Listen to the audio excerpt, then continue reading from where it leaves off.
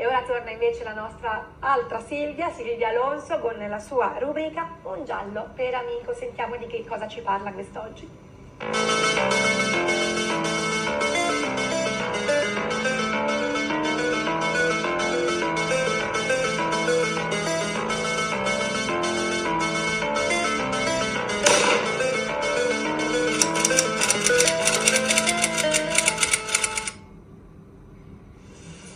Yo no quiero que nadie a mí me diga que tu dulce vida vos ya me has arrancado. Mi corazón una mentira pide para esperar tu imposible llamado. Yo no quiero que nadie se imagine cómo es de amarga y honda mi eterna soledad. Pasan las noches y el minutero muele la pesadilla de su lento tic-tac.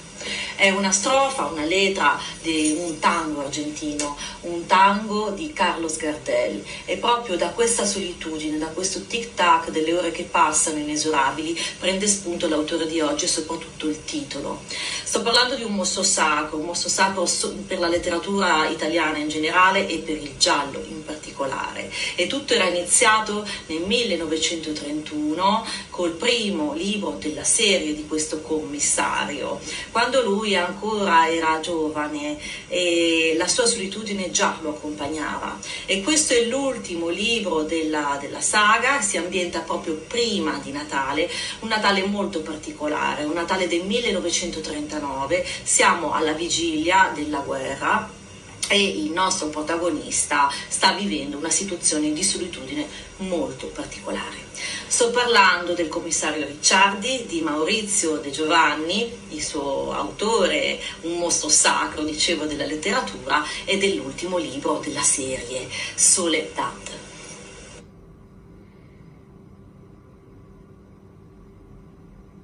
Senso del dolore, l'inverno, il primo inverno del commissario Ricciardi mette in scena un uomo molto particolare, un commissario che ha delle, delle caratteristiche strane, si sente un anti-eletto, lui porta una croce, qualcosa che lui sente come una condanna, che viene chiamato il fatto, il fatto di riuscire ad avvertire la voce delle persone che vengono ammazzate, ovviamente quindi muoiono di morte violenta, le loro ultime frasi e ne sente su di sé il carico, la sofferenza, sente anche le persone che muoiono in generale di morte violenta, i bambini magari per la strada eh, che hanno avuto degli incidenti, quindi questa vita affollata da fantasmi fa di lui un eroe particolare, un eroe che porta, su di sé il carico della sofferenza e si sente condannato a non, a non poter amare perché per lui la causa del crimine, le cause del crimine sono sono due, l'amore e la fame. L'amore e la fame sono principali,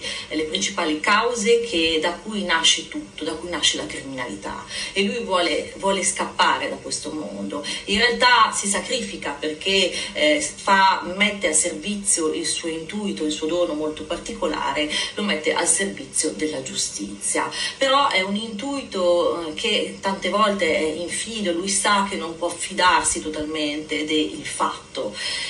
eh, perché mm, non sempre le voci che sente sono eh, razionali, possono essere delle esclamazioni, può essere qualcosa può essere detto in tono ironico.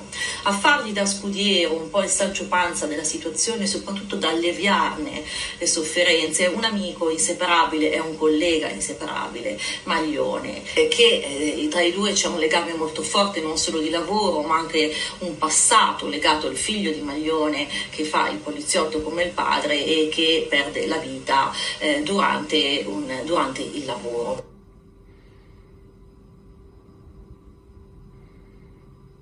Ma passiamo al libro di oggi, Soledad, la chiusura del cerchio. Chi ha seguito la serie del commissario sa le vicissitudini, soprattutto amorose, perché lui è di origini nobili, è charmant e nonostante sia un grande introverso, le donne sembrano perdere la testa per lui. E alla fine lui riesce in qualche modo a innamorarsi, a lasciarsi andare per la grande storia d'amore per questa donna, la sua vicina di casa eh, che sta alla finestra di fronte, Enrica, il cui ricamo gli concilia veramente la pace, lo mette in pace col mondo.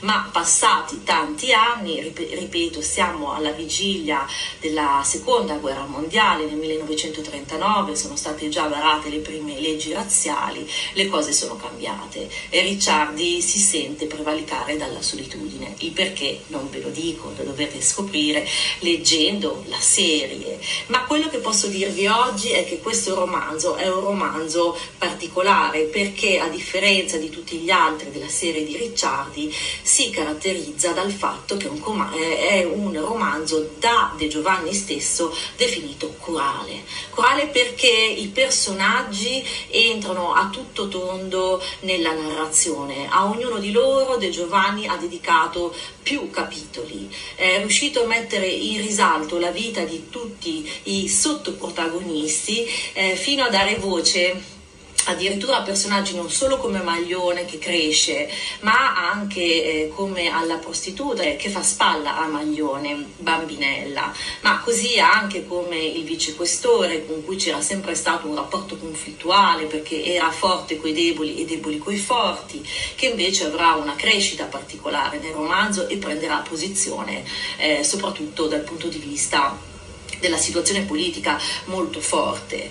E questa mal- malinconia che avvolge tutto il romanzo, una malinconia che permea la narrazione ma eh, per contrasto emerge sì la solitudine di Ricciardi ma anche mai come in questo romanzo eh, è vicina e presente la figura di Enrica e il grande amore che lui non, non, vuole sostituire, si decide quindi a tenerla come una figura sempre eterna, eh, tanto più che appunto lui avendo questa sensibilità particolare la sente proprio vicino a sé.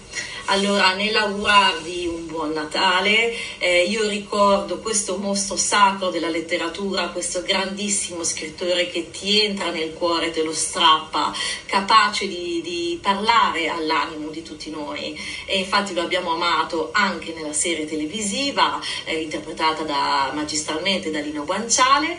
Vi consiglio quindi l'ultimo libro di Maurizio De Giovanni, Soledad, e facendovi gli auguri vi invito alla prossima puntata che sarà a gennaio di un giallo per amico, io e la mia pistola.